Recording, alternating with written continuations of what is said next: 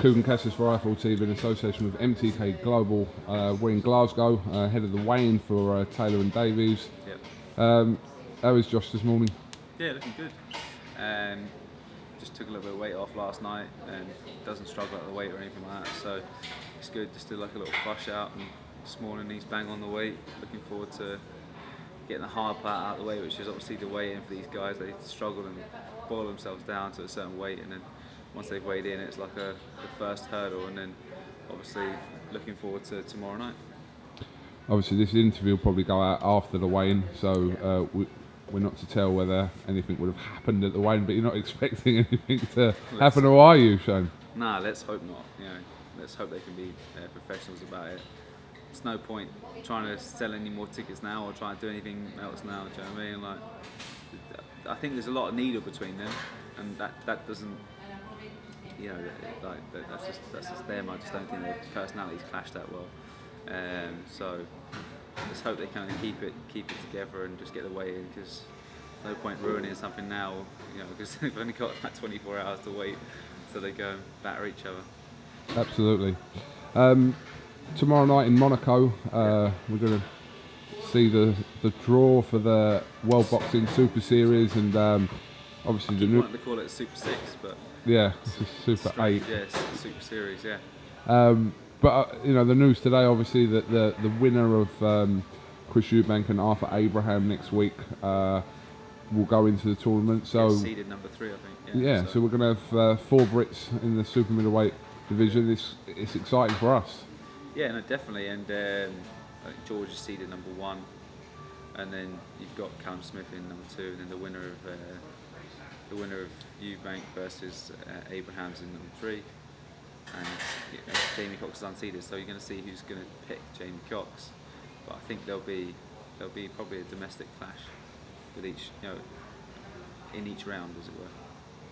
So not from you know just just in, in general. So there'll be either Cox fighting um, Eubank or Cox fighting us or or fighting um, Callum Smith. There's a lot of questions about obviously where these fights will take place, when they will take place, exactly how it's going to work, uh, over what period of time. I'm sure a lot of that information will be put out uh, after soon, the yeah. draw. Yeah. I think they want to do it within 10 months or something. So they want, but you know what these things are like. Always injury occurs, and I mean that Super Six tournament took took a little bit too long. I think that's what they're trying to stray, stay away from is um, it dragging on. You know what I mean? And just dwindling and out and losing interest. So they're going to make it real short, sharp, and compact. So let's hope everyone stays injury free and we can just keep rolling fight after fight. It's a shame James DeGale isn't in it. No, I think he's out until the, Mm, the end yeah. of the year or possibly next year with that shoulder injury. He said it, it went a lot, um, it's a lot more intrusive than they thought. So maybe you know, he can sit there patiently, have a little easy fight in between, and get the winner. So that, that's probably what he's thinking. 'Cause A Definitely. Brit, a Brit will win it. Um, and also, I mean, the cruiserweight division is uh, got a lot of uh, Yeah. of strong fighters in it. Uh, some of the best. Uh, well, most of the best are in it. To be honest, I think there's Yeah. three world champions from the cruiserweights. Usyk, they got that um, Gassiev as well. They and got Briedis, Bre- yeah. Briedis, yeah. So. And Mike Perez has been added to it as well. oh so God, yeah, that's, that's gonna be a good one. I don't know how well he's gonna gonna do at the cruiserweight division because he looks in fantastic shape. Blew some guy out in uh, Belfast, but we'll see. I think he's he's got a lot lot to give there, Perez. I don't think he's he's been an underachiever and he's got fantastic talent. But um, we'll see how he, he really he should have always been a cruiserweight, you know, frame and stature. So could see um, could see him upset some people. Um, the other news, obviously, we found out yesterday is uh, David Haye's announced uh, his new trainer. Ishmael Uh, Salas. yep, Ismael Salas, indeed, and we know um, obviously David uh, had a sort of a little bit of a relationship with uh, Ismael Salas in the Yeah, past. yeah, so, for a long time. yeah, what's your thoughts on that, Shane? I think um, it's a good move for David because it's because he's worked with him in the past. He worked with him a little bit um, on the side when he was when he was with Booth, and then since um, his shoulder injury, since being out for a long time, he worked with him as well before he started training with me, and kind of put us both on a, on a trial period, and decided to go with me, and now he's you know, we've we've parted ways, and now he's going with Salas. So I think it's a good move for him. I think Salas is a fantastic coach. Um, don't know how a, a five foot two man is going to be holding pads for him. I think he's going to get in. Actually, I think I know he's going to get in Big Stevie, who used to work for me, um, to, to, to, take the pads for him. And um, I think good luck to him. You know I mean? I think at this stage of David's career, he's not going to get technically much better. Um, you know, I think uh, he just needs to get through training camps injury free and be fit and ready and sharp for, for fight night.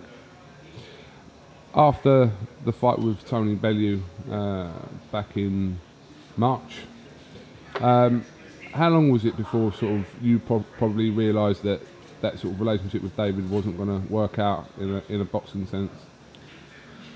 Um, from, from my point of view, it straight after the fight. To be honest, um, it didn't it didn't go the camp didn't go the way the way it should have should have gone, and um, I feel I, did, didn't bring the best David Haye to, to the table, and if I wasn't able to stamp my authority and, and, and get the best out of him, then kind of pissing into the wind. But uh, you know, he we went into the to the surgery, and like I'm, I'm good good friends with David. Like me and him are, are good friends, but from a working relationship, I just don't think it.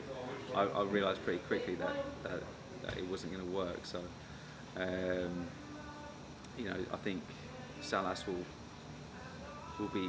It's almost like going to school again, isn't it? It's like you go to a new school, you get really excited, and you're buzzing for it, you know, for a while. So I think if that if that is the option that, that, that he's taken, you know, I think is a, good option, then that, that that's what that's what I want to see from him. I want to see him back. And sorry, I just trying to try not to get distracted here. Um, yeah, I think that's I think that's what's, what's going to be good for. You know I mean? Um, going back in the gym, excited to get back in there training. He's got Paul Gillinaris is basing himself over in London as well, so he's got another um, phenomenal fight to, to be in the gym and, and see and bounce off. So um, yeah, I just hope he can get through through training camps and and, um, get back to where he should be because he is a phenomenal fighter and um, he deserves to be to be back there. Mm. It's good to see that you've you know you've maintained your friendship with Yeah. David, and it wasn't kind of one of those sort of awkward, sour, awkward yeah, moments. Yeah, no, it doesn't need to be. Mm. You know what I mean? Like, like it does it? It's not. It's not an insult. It's not an insult to either of us. Either of us, if it's not working out. Do you know what I mean? So, for me, like, and him, we we we knew like it wasn't it wasn't working. So, we put a lot of effort and time into it, and I just think, you know, we're just different different people in terms of from a working standpoint, um, and you know, I hope he hope he finds it again. but you've got uh, obviously enough on your plate as it is anyway, uh, Yeah. with That's- Taylor and Groves and Yeah, no, exactly. Yeah. I mean, George, you know, you can, George.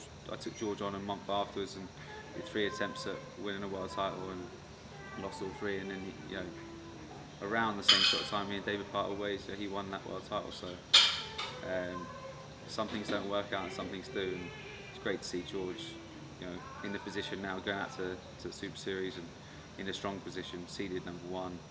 Um, you know, like with the world title around his waist, which is the thing that he set out to do since he was seven or eight years of age. He's achieved it. So, um, yeah, there's ups and downs in boxing. You've got to roll with it, absolutely. Okay, well listen, I know we're heading off to the weigh-in soon, so uh, appreciate your time, Appreciate and um, yeah, Thanks, mate. no problem. Kugan Cassius here with Shane McGuigan for IFL TV. Thank you very much. Cheers.